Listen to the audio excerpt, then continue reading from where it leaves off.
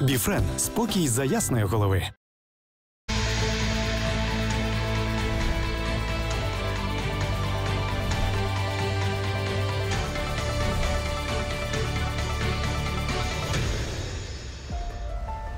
Дмитро Фінашин на псевдофін завжди хотів бути військовим, але в родині залізничників з Козятина на Вінниччині спершу довелося навчатися і працювати за сімейною традицією. Та згодом 2015-го підписав свій перший контракт із Національною гвардією України. Перші три роки служив у частині з охорони громадського порядку. Масові заходи, мітинги.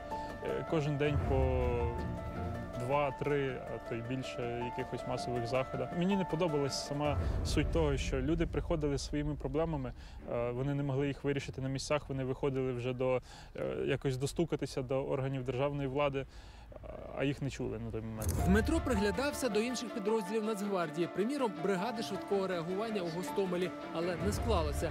Коли ж познайомився з військовими з батальйону Кульчицького, зрозумів це саме те, що він шукав. Познайомився з ними, і вони мене надихнули просто максимально. Я на полігоні з ними познайомився. Хлопці патріотичні, просто максимально. З 14-го року батальйон воює, е, займається тією роботою, яка мені в принципі була дуже цікава. От, і всі настільки вмотивовані, і ну, інша служба, як на мене. Я подивився, то дійсно ну, військові військові прям займаються своїм е, по фаху. До тебе придивляються. Наскільки ти хочеш е, воювати, якщо чи ти готовий до того, що ти поїдеш на нуль, до того, що ти е, ну, там можеш загинути, і всі інші моменти. Ну тобто, морально ти маєш бути готовий. Командування оцінило старання Дмитра у першій ротації. Згодом перевели в бойову групу. Служба у ритмі три місяці на фронті, три місяці в Києві. На той момент здавалося, що все досить активно, що це ну, війна, війна. Але все, все відносно в світі. Рідні хвилювалися, звісно, але вже е, в певній мірі, мабуть, звикли до того, до такого ритму життя. А мені особисто мотивації шукати ніякої точно не треба було. В мене було і так само, як і у всієї групи. Її було більше, ніж потрібно, мабуть, е, тому що всі насправді рвалися на роботу. Ти е, ці три місяці, які ти знаходишся вдома, якось вже, вже щось не те. Чогось вже не вистачає. З 2017-го він боронить Україну. Спершу як оператор дрона у контрснайперській групі, згодом стає заступником командира взводу аеророзвідки. Потім вирішив стати снайпером.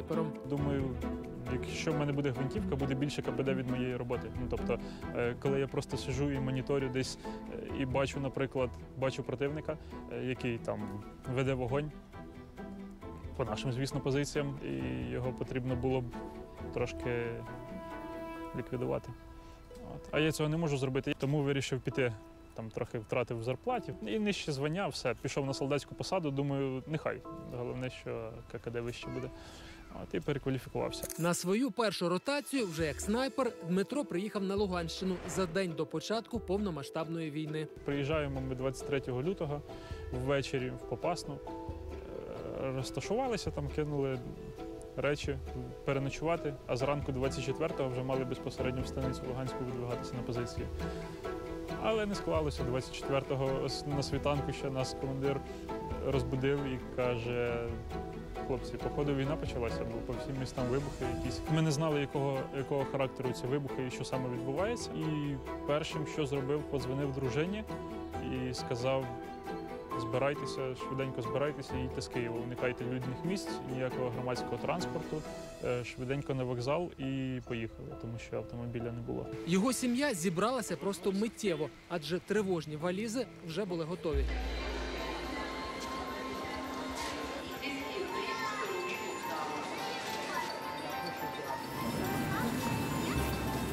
І знадобилося там буквально 15 хвилин, щоб вони з моменту мого дзвінка вони зібралися і пішли. Вони швиденько пішли на вокзал і виїхали в Вінницьку область. Коли вони сказали, що ми вже в поїзді, я такий фу. Типу, можна робити роботу спокійно, вже без задніх думок. І я був впевнений, е, що, що з моїми все буде добре, вони зможуть вибратися. Мені нічого не заважало, як мінімум, з точки зору е, емоцій. Це незнайома жінка. Не знайомо? Я її ніколи не бачив. Перший раз бачив. Ну, буває в нас на районі таке. Так, дуже гарні люди добрі. Наше інтерв'ю з Дмитром Фінашином на псевдофін таким чином переривали декілька разів. І все. Героям слава. Смерть ворогам. Понад усе. Телебачення. Одним із найважчих моментів перших днів війни Дмитро вважає те, що на їхній ділянці фронту було спокійніше ніж, наприклад, в столиці. Перші три дні війни ми пробули в Попасні, і дуже складно було е, дивитися, як в Київській області бої точаться, як в містах, де вже е, бігають якісь групи, які перестрілки. І- І оце було дуже морально важко, тому що ми знаходимося в Попасній, де нічого не відбувається. Ми вже, ну, якби, якби щось було, то окей. А так, вдома в тебе під вікнами бої, а ти знаходишся десь і нічого при цьому не робиш. А нам казали хлопці, чекайте, чекайте, на всіх вистачить війни і все буде добре. Підрозділ Дмитра перші тижні повномасштабної війни виконував завдання у Луганській і Донецькій області, потім у Харківській. Тримали й оборону на дамбі Оскільського водосховища. Найбільше дивувала тоді тактика росіян, які кидали без будь-якої розвідки вперед техніку та особовий склад. Їде колона, підривається, вони обходять її збоку, починають їхати далі, далі підриваються. І отак вони, ну, вони не зупиняються. Невже їм не хочеться жити тим солдатам? Не вірю. Але вони все одно їхали і підривалися, і їхали, і підривалися. Героям слава! Круто. От скажіть, що за них не треба воювати, і, і що, що будь-яка кожна зі смертей або поранень це дарма. Ні, вони варті всього, кожної краплини крові пролитої на війні. Що таке втрачати побратимів і проливати власну кров, Дмитро добре знає. У травні його група під час виконання завдання потрапила в засідку в районі Попасної. Вже поранений він викликав вогонь артилерії фактично на себе. Згадує, як одна з російських куль відірвала йому вказівний палець правої руки. Інші влучили в шолом. Оглушило дуже сильно. От, а це була куля. Е, прийшла в шолом, подряпала лоб легенько, шкіру. Чисто зацепило дуже легко. Мені дуже пощастило. В той момент відповзаю з того місця, де мене влучили, і, і мені прилітає в ліву руку. Прилетіло, я лежав, якраз мені прилітає в руку, е, перебиває кістку, артерію. Ця куля проходить під, заходить в корпус, проходить під ключицю і виходить з е, ну. Побратими допомагали вибратися, але після чергового обстрілу втратив свідомість. Коли отямився, був сам.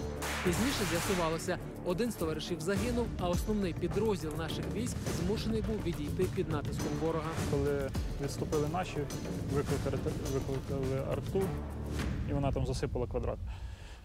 Дуже щільно. Я був тоді при тямі, при пам'яті. Я вже тоді добрався, зміг добратися до посадки до нашої зеленки. От. І я чув, як воно прилітає, все свистить, все сипеться, гілки падають. Ну, тобто, хто, хто знає, той знає, хто був. Все навколо сипеться, кудись облітають ті осколки, але мені вже було не до того. Я якось не, не сильно звертав на це увагу. Дмитро провів у лісопосадці дві доби. Від втрати крові і зневоднення марив. Повзав вночі, щоб зігрітися. Найбільше боявся померти там. Ніхто не знайде, не поховає. Це було досить складно. Тримався чисто на морально-вольових якостях. Подумав, так ліг полежав про, про рідних, про своїх близьких, як їм. Ну тобто, мені, звісно, це легше. Взяти там, померти і все. А, вдома домашнім що робити? Не зможуть ні похоронити, ні не будуть знати, що зі мною. Передадуть, скоріш за все, що я зниклий безвісти. І будуть сидіти, сподіватися, що я десь в полоні колись може повернуся. Знайшов калюжу з водою, тухлу таку, там болоти, чисто болотина така. Знайшов ту калюжу, з неї пив, тому що спочатку не хотів, вона там дуже поганий запах мала і на вигляд взагалі непридатна для вживання. Але від зневоднення я би помер швидше, ніж від отруєння тою водою. На третю добу його знайшли десантники з 80-ї бригади. Побачивши форму з пікселем збройних сил України, був безмежно щасливий. Але одна тривожна мить була. Спочатку не знав, хто ці люди. Я подумав, що це орки. Думаю, от то клас. Лежав, терпів, тримався, тримався, а тепер зараз прийдуть орки і мене доб'ють. Підходить там, чую, що ще трохи ближче підходить цей голос такий ще раз. Ти хто? Підвожуся на лікоть. Кажу, Діма Фінашин. Він каже: ти, ти чий будеш взагалі? А я дивлюся, лежу, а він стоїть переді мною. Я дивлюсь, а він в пікселі ЗСУшному. І це таке щастя було просто. Я розумію, що це, що це наші, що це не орки. І це було дуже дуже щасливий момент для мене, тому що я розумів, що мене знайшли і що я, ну, що я врятований, по суті. От. І я кажу, що я з Нацгвардії.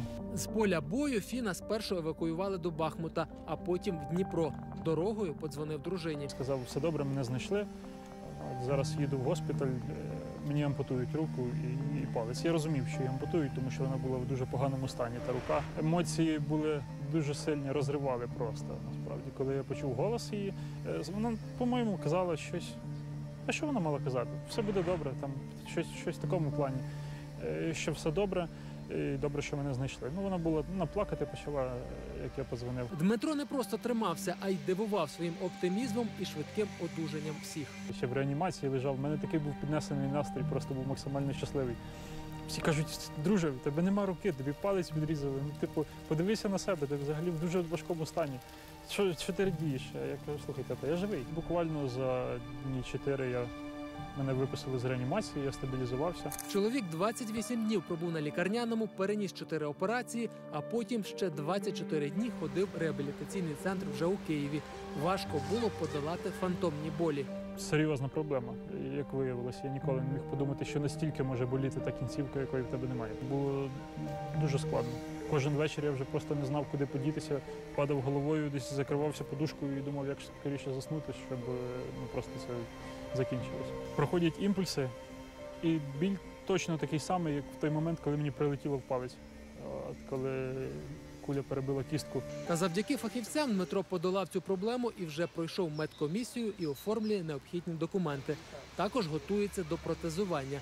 Попередньо протез мають підібрати у Польщі. Допомагають українські благодійні фонди. такого роду протези це досить дорого. Насправді це значно дорожче, аніж, наприклад, протез ноги. І вартість одного однієї такої руки можна поставити 10 ніг хлопцям. Я думаю, що до, до зими я би вже е, мав руку і спробував би вже почав би відновлюватися в армії, наприклад. Ну я собі так планую. Інструкторська діяльність е, маю. Маю певний досвід в безпілотній авіації, маю певний досвід там в високоточці, скажімо так. Попри всі випробування війни, Дмитро Фінашин ні на мить не сумнівається. Україна переможе. По-перше, за рахунок стійкості наших людей. Е, По-друге, мотивація. Мотивація, вона це основне і, по суті, чи не єдине, що спонукає нас битися і боротися, і стояти до останнього. Нам нема куди відступати. Вони, вони прийшли на нашу землю, ми переможемо безумовно. Тим більше зараз, зараз ми можемо спостерігати, як це буде виглядати.